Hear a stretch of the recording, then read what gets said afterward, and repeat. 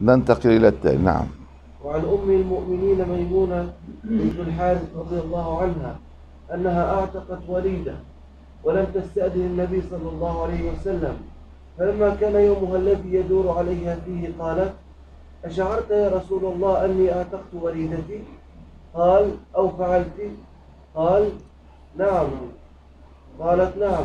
قال أما إنك لو أعطيتها أخوالك كان أعظم لأجلك. انظر الوليدة هي الأمة تعتق. ولكن هنا النبي صلى الله عليه وسلم أرشدها أنك إذا أردت أن تعتقي أن تعتقي وليدتك فاجمعي بين خيرين. الخير الأول وهو العتق. والخير الثاني وهو ما هو؟ أن هذا العتق لأقاربك لأخوالك.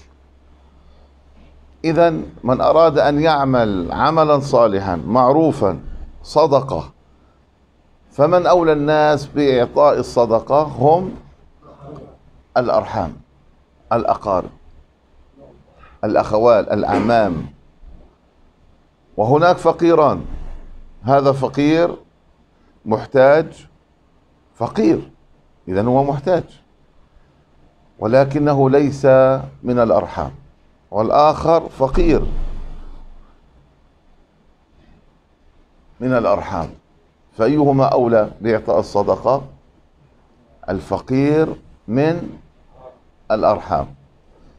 طيب فقير من الصالحين وليس من الأرحام. وفقير من عامة الناس من الأرحام. أيهما أولى؟ من الأرحام أيضا. إذا موضوع الرحم يا جماعة له حق عظيم جدا. له حق عظيم جدا. فإياك أن تفكر وأنذر عشيرتك الأقربين. أولى الناس إذا أردت أن تخاطبهم بالخير وأن تعلمهم هم الأرحام ثم تنتقل إلى ما بعد الأرحام لذا قوا أنفسكم وأهليكم نارا.